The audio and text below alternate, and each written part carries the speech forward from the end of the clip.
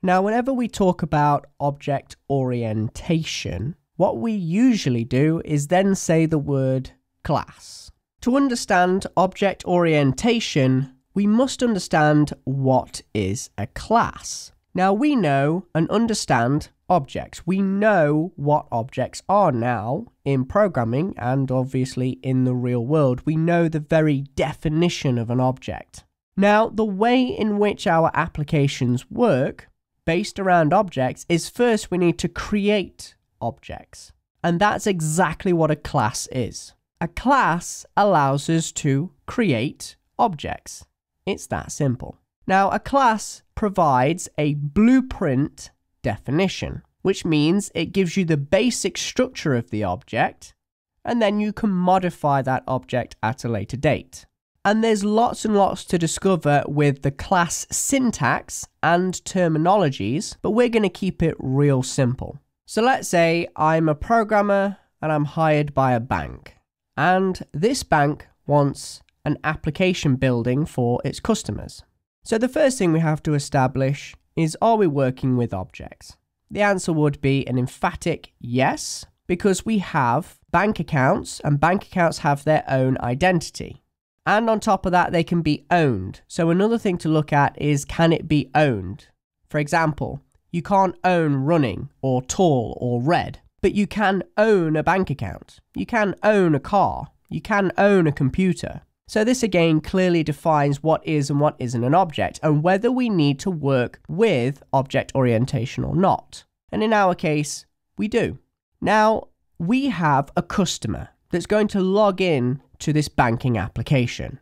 And just like in the real world, they could have multiple bank accounts with that same bank. So this user has three bank accounts with this bank. Now, with each bank account, it needs certain information, such as the bank account type and the amount stored within the bank account, the account number, the account sort code, and also we need to be able to perform some actions on each one of those bank accounts.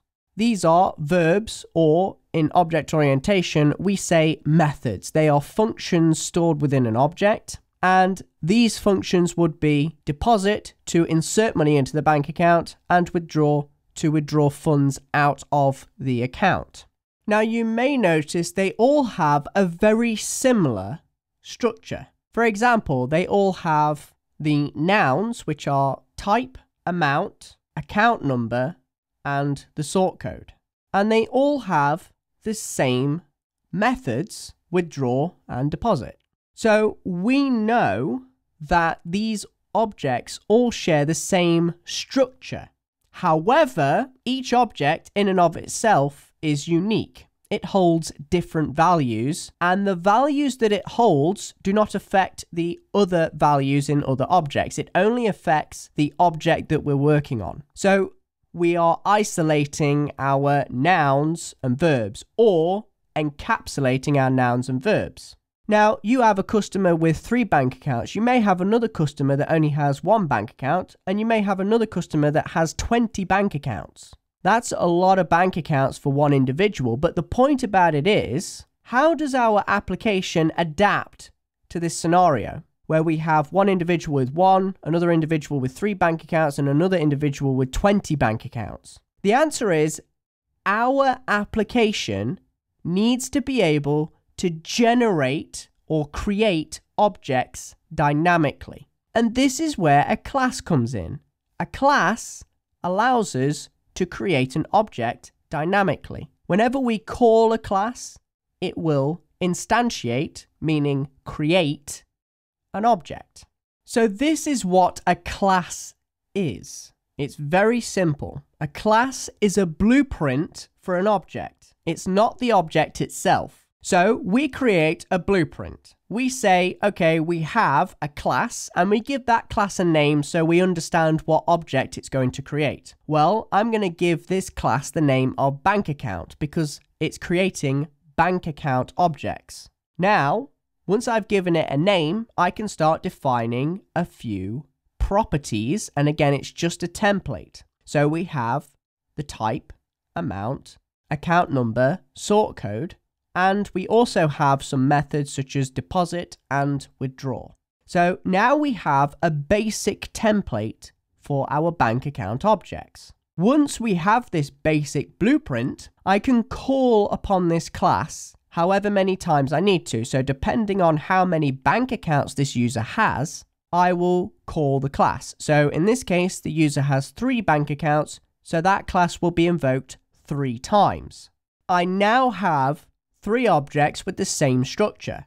Now it's important to note, once you've created the objects, they have their own identity. So now I can start modifying the values within these objects to match the information that's stored in my database, let's say, and it's only going to affect that object. And then I can move on to the next object and populate it with values, and the next object and populate that with certain values. So each one is now unique. Now, if you were to take a look at the entire structure of, let's say, a banking application, you'd start with the bank which that's just one single object on its own. But then you have multiple branches to do with a bank. So a branch over in this city, that city, and so forth. So we need a branch class to create objects to do with each branch. And then also you have the customers, and each branch can have multiple customers. So we need another class to generate objects to do with each customer. Then you have multiple bank accounts to do with that customer. So again, just like we did, we need a bank account class to create a bank account object for however many bank accounts that user has. So you can see now the importance of number one, object orientation, and number two, classes. Classes allow us to build objects.